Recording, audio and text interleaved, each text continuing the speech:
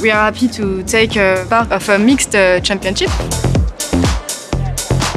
My name is Cristiana Oprea. I'm from Romania. I am here to drive the Corsa E rally car.